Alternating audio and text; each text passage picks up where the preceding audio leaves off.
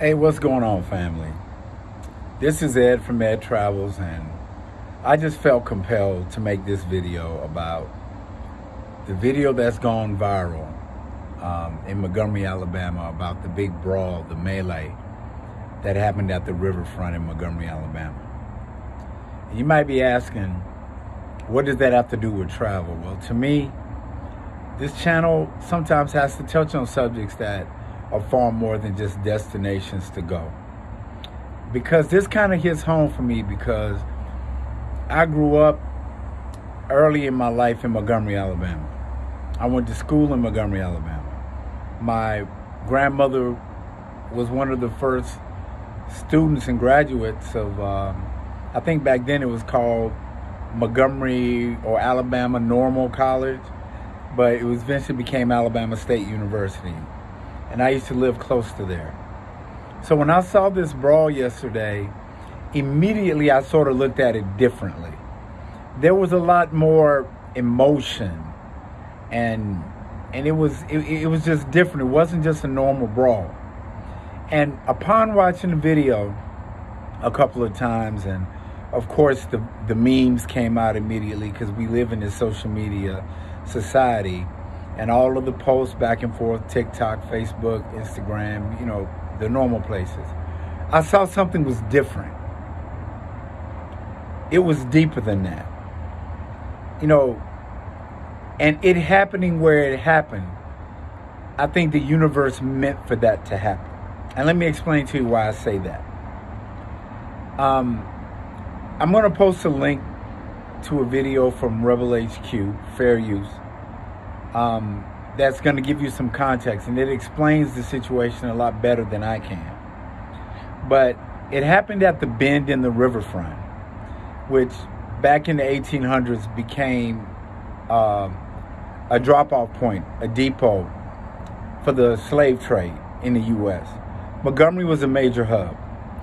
And um, up in the 1860s, I believe, Montgomery got to the point that there were over 435,000 slaves that were housed in Montgomery. They had to build warehouses to house them like property, like livestock. So that's a very painful place, especially for black folks in America.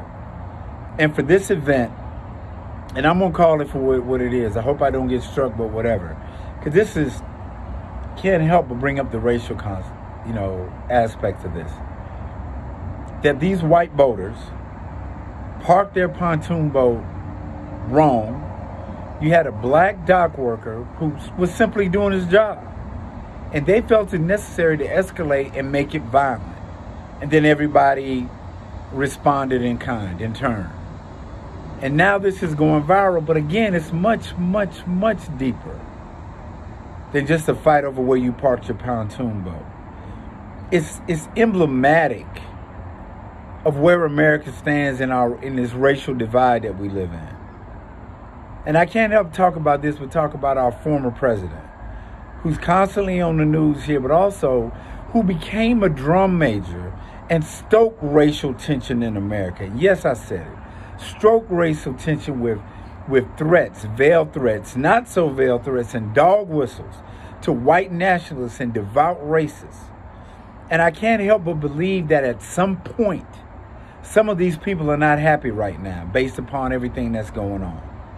And maybe alcohol played a role in it. But I also believe that in Montgomery, there's a lot of racial tension. There's nowhere you can travel around that city without seeing um, symbols of the civil rights movement and the, and the history. Montgomery was the capital of the Confederacy. After the southern states seceded, they met in Montgomery to establish the, the, the Confederacy. It was the capital of the Confederacy. But also on the flip side, uh, Dexter Avenue Baptist Church, where Martin, Martin Luther King became the face and started the civil rights movement. That's where Rosa Parks was arrested for not giving up her seat on the bus.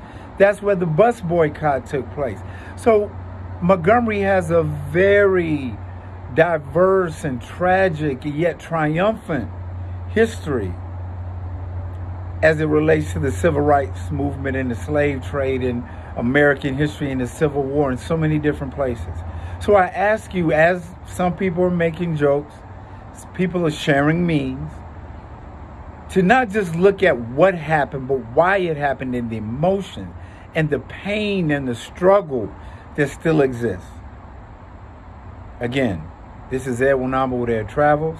Not trying to tell you what to think, just encouraging you to think. I love you guys, and there's nothing you can do about it. Peace.